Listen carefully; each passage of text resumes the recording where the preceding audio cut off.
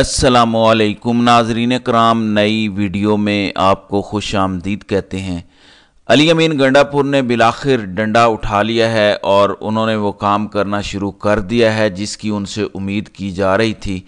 या आप यूँ कह लें कि जिसके लिए उन्हें लाया गया था कि अब बहुत हो गया बहुत बर्दाश्त कर लिया। देखें, आपने क्या कुछ नहीं किया? आपने एक शख्स को चार गोलियाँ मारी उसकी आपने जमात तोड़ दी, उसको आपने उठा के जेल में फेंक दिया, इकतीस साल की सज़ा सुना दी। फिर उसने अपनी ताकत का मुजाहरा किया, पूरी कौम उसके साथ खड़ी हुई। इलेक्शन के अंदर उसने टू थर्ड मेजॉरिटी हासिल की।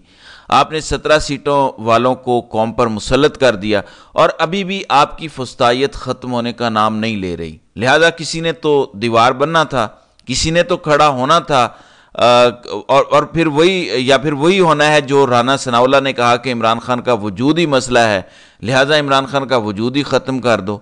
और घंडापुर एक तगड़ा शख्स है, वो आरिफ अलवी की तरह नहीं है। देखें, अल्लाह ताला ने आरिफ अलवी को कितना बड़ा मनसब दिया कि आप supreme commander of armed forces हैं। आप रियासत पाकिस्तान के सरबराह हैं।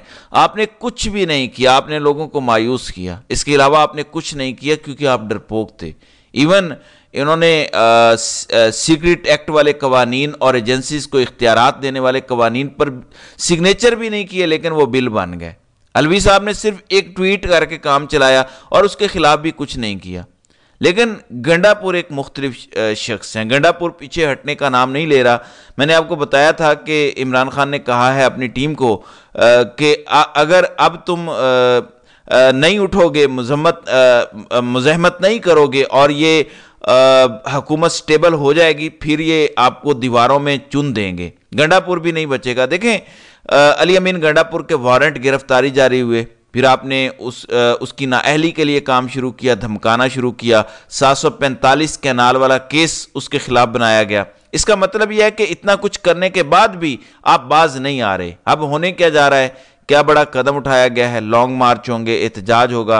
वो तो एक अलग चीज़ है पीटीआई मजम्मत करेगी मजामत करेगी। वो भी आ, एक अलग चीज़ है। लेकिन अब जो हुआ है वो खबर सुनिए। खैबर पख्तूनख्वा में पीटीआई रहनुमाओं पर कायम मुकदमात ख़त्म करने के लिए कमेटी कायम। अब ये आ, सिर्फ़ कमेटी नहीं बनी। आगे सुनिए कि खैबर पख्तूनख्वा के वज़ीर कानून आफ्ताब आलम के मुताबिक कमेटी के सरबराह आई जी खैबर पख्तूनख्वा अख्तर हयात खान हैं। आफ्ताब आलम के मुताबिक वज़ीर अली ने कमेटी को जाली मुकदमात ख़त्म करने का टास्क दे दिया है। उनका कहना था कि पीटीआई रहनुमाओं पर एक ही वाक़े की सात सात एफ़ आई आर्स दर्ज हैं। वज़ीर अला के पास ये बड़ी अहम बात है कि वज़ीर अला के पास एफ़ आई आर ख़त्म करने के सवाबदीदी इख्तियार हैं। यानी वज़ीर अला के पास ये इख्तियार होता है कि वो एफ़ आई आर ख़त्म कर सकता है। अलवी साहब ने तो अपने सवाबदीदी इख्तियार इस्तेमाल नहीं किए, लेकिन अली अमीन गंडापुर ने कह दिया है कि बस जनरल साहब बहुत हो गया। बहुत आपने कर लिया, एक बर्दाश्त होती है। अब हम भी अपने इख्तियार इस्तेमाल करेंगे और हम हर तरह से जो जाली मुकदमात बनाए गए हैं, नौ मई के वाक़ात हों सदाद दहशत गर्दी और पता नहीं क्या क्या इन सब का रास्ता अब हम रोकेंगे। नजन कराम फिर इस्टेब्लिशमेंट के साथ क्या हो रहा है? पहले भी मैंने बात की थी कि जो आपने मीशत के हवाले से चार पाँच अहम कमेटियाँ बनाई, उन कमेटियों का इंचार्ज आपने लगा दिया इसहाक डार को, जिसके पास वजारत खारजा भी है। दो कमेटियाँ खुद वज़ीर अजम शहबाज शरीफ ने रख ली। सिर्फ़ एक आम सी कमेटी कोई इंटरप्राइजर वाली है, वो आपने वज़ीर ख़जाना को दे दी। यानी आप छेड़छाड़ कर रहे हैं, मीशत तो इस्टेब्लिशमेंट चलाना चाहती है, लेकिन आपको बड़े मियाँ शबा, नवाज़ शरीफ ने बताया है कि मीशत वाला मामला अपने हाथ में रखिएगा, वरना फिर हमारे पल्ले तो कुछ नहीं आएगा।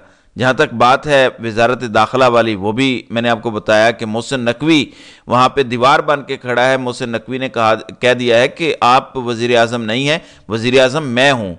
जो चाहे मैं करूँगा, अपनी मर्ज़ी के अफसरान लगाऊँगा, अपनी मर्ज़ी की टीम बनाऊँगा, आपसे जो होता है आप कर लें। तो मोहसिन नकवी ने जाके इस्टेब्लिशमेंट को बता दिया है कि शहबाज शरीफ मेरी फ़ाइल रोक के बैठे हुए हैं और अगर ऐसा होगा तो मैं काम नहीं करूँगा। यानी अब ऐसी तो सूरत हाल नहीं है कि या शहबाज शरीफ होगा या मोहसिन नकवी होगा। दर हकीकत मोहसिन नकवी ही होगा, शहबाज शरीफ नहीं होगा। तो इस तरफ़ मामला जा रहे हैं। फिर एम क्यू बुरी तरह फंसी हुई है। एक सीट भी वो नहीं जीते, मगर सत्रह सीटें उन्हें दिलवा दी गई। ज़ाहिर है वो भी हिलजुल नहीं सकते।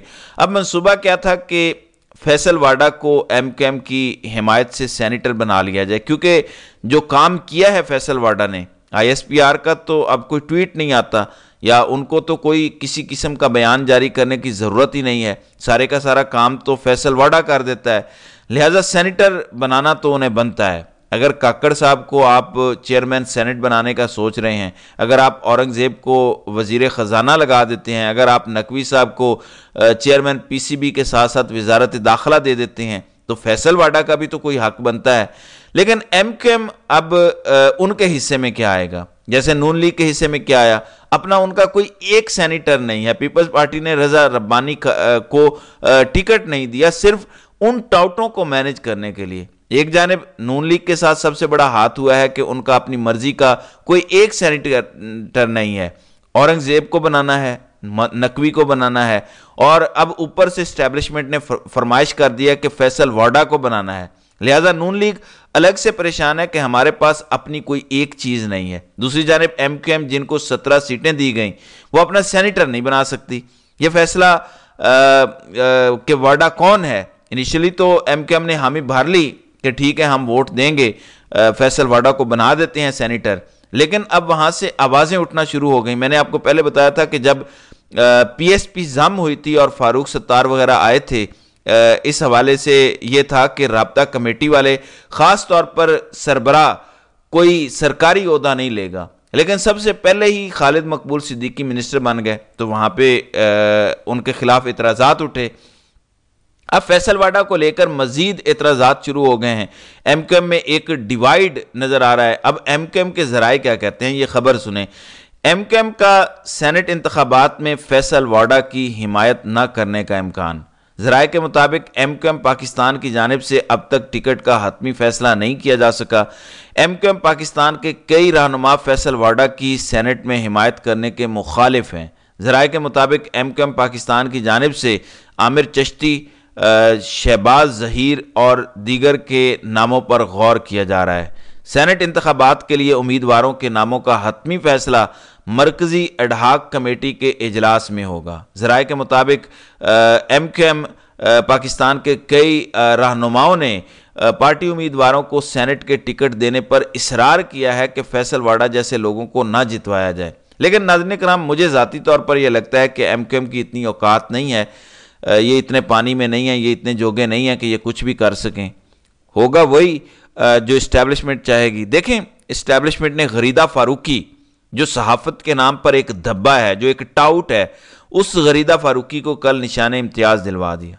और गरीदा फारूकी ने बड़े फ़ख्र से ट्वीट किया, अल्हम्दुलिल्लाह शोबा सहाफ़त में आज 23 मार्च 2024 योम पाकिस्तान के मौके पर तमगा इम्तियाज़ हासिल कर लिया है। जबकि सुहेल वड़ैच को तमगा हुसन कारकर्दगी से नवाजा गया।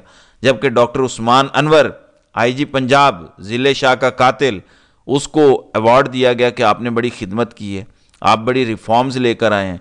तो जितने चहेते थे जिन जिन की खिदमत थी इस्टेब्लिशमेंट के लिए खा वो सहाफ़ी थे जिन्होंने टाउट होने के सारे रिकॉर्ड तोड़े, या बाकी जो चमचे कड़छे हैं इस्टेब्लिशमेंट ने, उन सबको नवाजा है।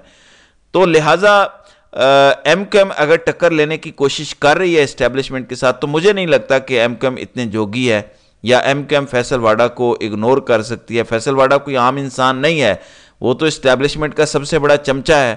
तो लिहाजा ये चाह कर भी ऐसा कर नहीं सकेंगे, लेकिन कम अज़ कम आज पीटीआई ने कुछ बड़े फैसले कर लिए हैं कि टिट फॉर टैट पूरा दंगल सजाना है टफ टाइम देना है। अब इस जुल्म को बजोर बाजू रोकना है विक्टम नहीं बनना, रोना धोना नहीं करना, बल्कि इसको रोकना है। तो देखते हैं कि अब आइंदा आने वाले दिनों में खैबर पख्तूनख्वा से किस तरह की तहरीक उठती है और जो जो फैसला किया है अली अमीन गंडापुर ने कि पीटीआई के ऊपर जितने रहनुमाओं के ऊपर इस वक्त मुकदमात हैं, उन्हें ख़त्म किया जाए। देखते हैं इस हवाले से क्या होता है। तो नजन कराम आपकी इस वीडियो के हवाले से क्या राय है? आप अपनी राय का इजहार कमेंट सेक्शन में ज़रूर कीजिएगा।